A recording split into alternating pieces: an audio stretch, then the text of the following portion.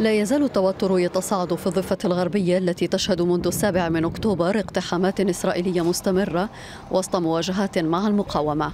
وبالتوازي مع تصاعد عنف المستوطنين وتزايد هجماتهم على الفلسطينيين. وفي آخر التطورات استشهد فلسطينيان وأصيب ثلاث آخرون برصاص الجيش الإسرائيلي قرب بلدة الجيب شمال القدس. كما استشهد اثنان آخران بعد اقتحام قوات الاحتلال مستشفى جنين الحكومي بالإضافة إلى استشهاد طفل في مخيم شعفاط وفق وزارة الصحة الفلسطينية. واقتحمت قوات الاحتلال الإسرائيلي مدينة جنين في الضفة الغربية مرفقة بالآليات العسكرية والجرافات التي انتشرت في أحياء عدة مما أدى لاشتباكات مع المقاومة وسط إطلاق نار كثيف وتدمير للبنية التحتية حسب ما أفاد به شهود عيان.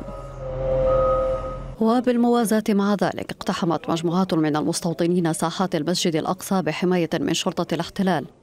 يأتي ذلك فيما تواصل سلطات الاحتلال التضييق على دخول المصلين إلى المسجد الأقصى فضلا عن منع الفلسطينيين من الضفة الغربية الوصول إلى المسجد.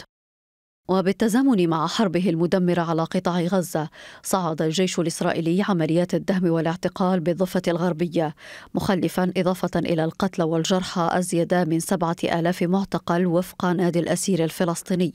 في وقت تتزايد فيه المخاوف الدولية من انفجار الوضع في الضفة. أمينة بن دحمان ترتي عربي.